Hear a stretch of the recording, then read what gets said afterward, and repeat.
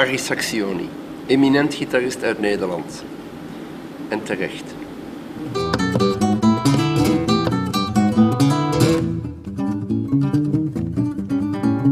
Ik heb hem leren kennen als een heel hartelijk mens.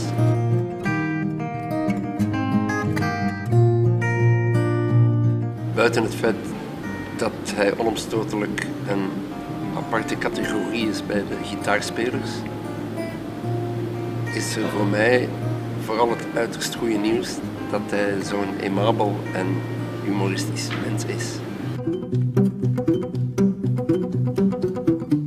Ik kan u ten zeerste aanraden op 19 oktober des avonds naar Carré te gaan, want dan is er een pleiade van artiesten die niet van de minste zijn, waarvan ik natuurlijk een van de erg belangrijke ben.